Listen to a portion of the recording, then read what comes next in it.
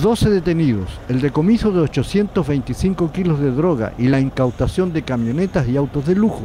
con un avalúo de 13 mil millones de pesos, fue el resultado de una operación conjunta de la Fiscalía Regional y la PDI.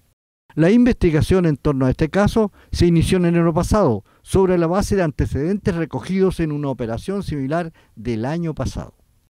Corresponde a una organización transnacional de alta complejidad que nos ha permitido una incautación muy importante, la más importante en, materia de eh, cocaína que se ha realizado este año. Eh, y permite la desarticulación de una organización criminal eh, transnacional con la detención de 12 personas, 9 de ellos de nacionalidad boliviana y 3 de nacionalidad chilena, quienes ingresan esta droga a través de pasos no habilitados de la región de Tarapacá y posteriormente por el plano cordillerano o precordillerano las trasladan hasta la segunda región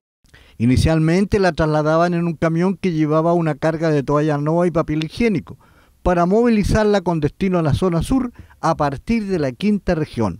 Operativamente encargada de la internación y además financistas iniciales de la droga, eh, que son los ciudadanos de nacionalidad chilena. Además encontramos la particularidad en este caso de que los ciudadanos bolivianos ejercían un, un trabajo de vigilancia de las rutas interiores con el propósito de detectar la presencia policial, lo que significó que nuestros funcionarios permanecerán durante tres días y tres noches en el, en el interior, en el altiplano, para poder lograr el éxito de la investigación.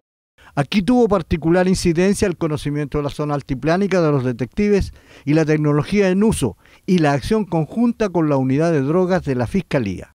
Una operación de esta magnitud implica que detrás de ellos hay una estructura muy grande, muy poderosa, ¿no es cierto?, que amerita también eh, investigar a fondo, ¿no es cierto?, los recursos y todo el, eh,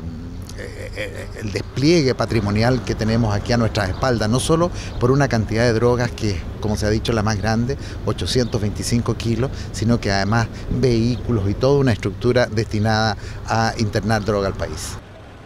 Para la autoridad regional, este tipo de acciones realizadas por pasos no habilitados avalan las medidas de control que se han tomado en la zona fronteriza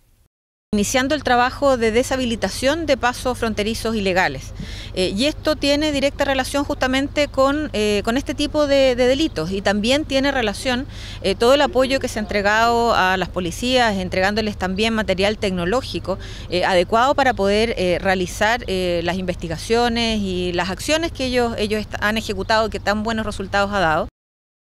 Los traficantes, que serán formalizados en alto hospicio, traían la droga en sacos de distintos colores, con indicación de sus destinatarios, los que serán investigados en la continuidad de la diligencia.